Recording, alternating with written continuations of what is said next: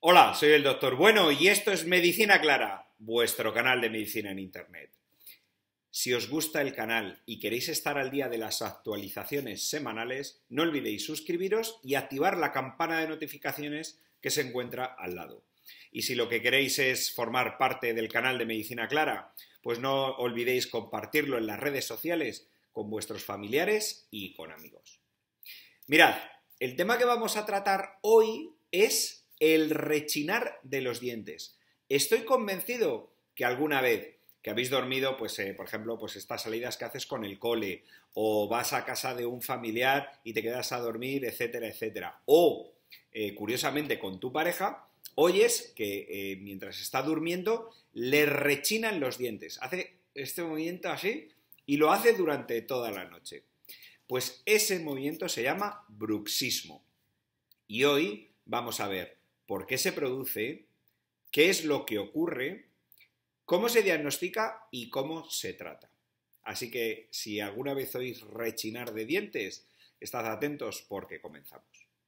Mirad, efectivamente, el bruxismo es este movimiento que hace la gente apretando las mandíbulas entre ellas y moviendo los dientes hacia adelante y hacia atrás. Se puede realizar tanto por el día como por la noche pero por la noche es mucho más incontrolable porque durante el sueño no podemos darnos cuenta de que estamos apretando los dientes uno contra otro. Generalmente el bruxismo se debe a situaciones de estrés, a situaciones de ansiedad. La gente que suele tener este rechinar de dientes suelen ser personas pues que tienen eh, pues un estrés emocional, que están preocupadas con las cosas, que tienen un sistema de ansiedad generalizada o gente que es Em, pues em, quiere estar, eh, tenerlo todo perfecto, tenerlo todo controlado, no dejar nada al azar, buenos estudiantes que están preocupados con sus eh, exámenes o posiciones, o se puede dar en situaciones puntuales ante alguna situación de estrés. Lo que hacen es que durante el día aprietan las mandíbulas y por la noche suelen hacer ese rechinar de dientes que es tan molesto. Y también lo producen los niños, es decir, muchos padres escuchan a sus hijos que tienen ese rechinar de dientes. ¿Qué problemas causa el bruxismo? Pues fundamentalmente causa problemas dentales.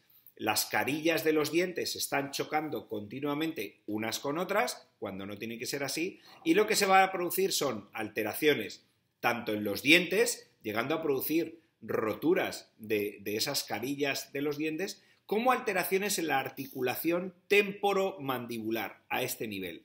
Entonces, generalmente, estos pacientes de estar toda la noche una y otra vez durante mucho tiempo apretando, van a tener dolor en la articulación temporomandibular, alteraciones en el masetero, en este músculo que nos permite, entonces se les va a crecer, van a estar como las ardillas, le van a crecer a este nivel, y alteraciones en esta articulación provocando también dolor de cabeza, insomnio, irritabilidad y mal estado general.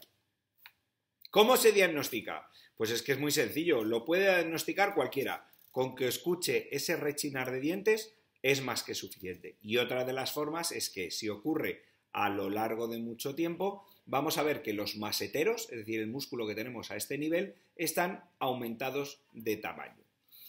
¿Cuál es el tratamiento? Pues el tratamiento suele ser muy sencillo y va encaminado a evitar la rotura de nuestros dientes y es la utilización de férulas de descarga, que se llaman. Son férulas que se ponen en la boca, son como los protectores que utilizan los boxeadores, más o menos similares, y se van a utilizar para que la persona durante la noche, al, si muerde, no rompa eh, las carillas de los dientes y esa, ese mordisco vaya disminuyendo en el tiempo y sea de menor efectividad al mantener la mandíbula ligeramente elevada.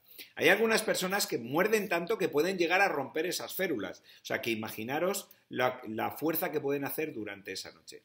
Pero ese es el tratamiento. Y por supuesto, reducir la causa, que es reducir los niveles de estrés y la situación de ansiedad que esté provocando a ese nivel. Y nada más. No tiene ningún otro eh, problema ni es la manifestación de ninguna otra enfermedad. Es básicamente un problema de estrés, de ansiedad, de, nerviosismo, de preocupación.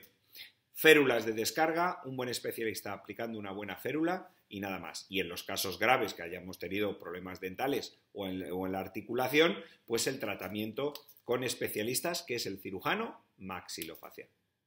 Pues nada más, hasta aquí todo lo que podéis saber sobre eh, bruxismo o rechinar de dientes. Espero que este vídeo haya solventado las dudas que pudierais tener. Si os ha gustado, como siempre, compartirlo en las redes sociales con familiares y con amigos. Yo soy el doctor Bueno y esto es Medicina Clara, porque una medicina comprensible es posible y necesaria. Muchísimas gracias.